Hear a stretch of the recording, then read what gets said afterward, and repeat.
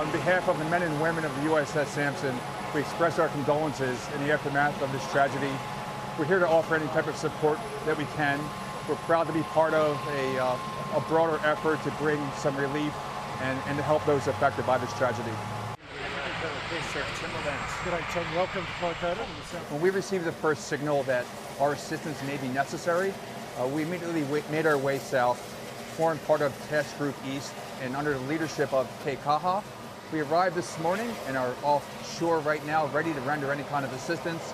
Additionally, we have helicopters and onboard expertise to assist in a multitude of areas. We stand by ready to lend support uh, to the people affected by this tragedy.